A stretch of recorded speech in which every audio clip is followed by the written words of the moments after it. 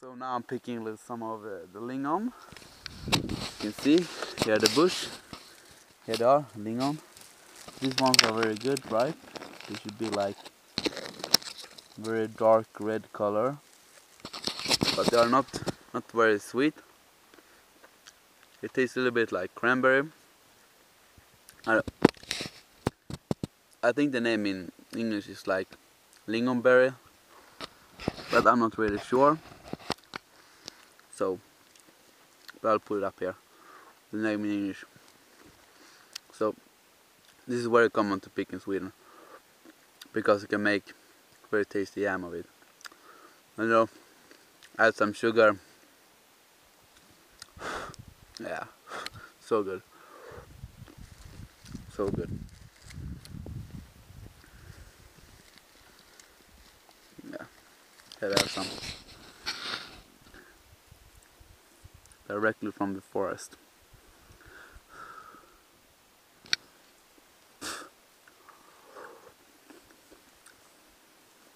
Pure nutrition for active body. For human wanna live life. Let's get, let's get some more. See you later.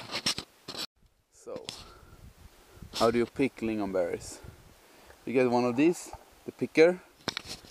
You get a bucket, and you get yourself some motivation. Then you find a forest in northern of Sweden, or like Norway or Finland. Like in the middle of Sweden is good. So yeah, and then you start pick. You grab it like this. Yeah. You go like this, and then the picker will pick out the berries and leave the shit where it should be. But it's very hard to pick with one hand because I can't like like this. That's good. That's good. Here you can see how it's good. Very nice. So the lingon berries thrive in uh, areas where it's not too dry and not too too swampy. So you can find them with the blueberries, but they're not gonna thrive at the same area as the blueberries. But they but they can still be there, you know. Fuck. Here we have some beautiful Swedish mushrooms. This is uh, like this one is very beautiful. It's a typical Karl Johan Swedish mushroom. I believe it's can be found anywhere else also, but very common in Sweden, especially this year. You can see it's uh, light brown on the top, and I have like this uh, the spores. It's like yellow, green. They go to white, white, yellow, and green. So this one is a little bit older. This one is quite young.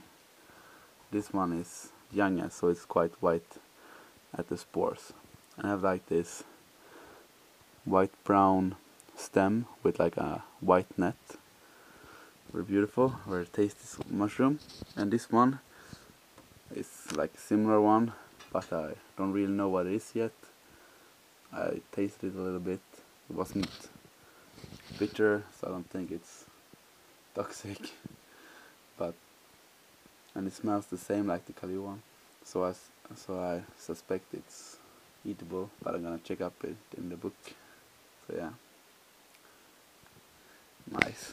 This is what I scavenged today around here.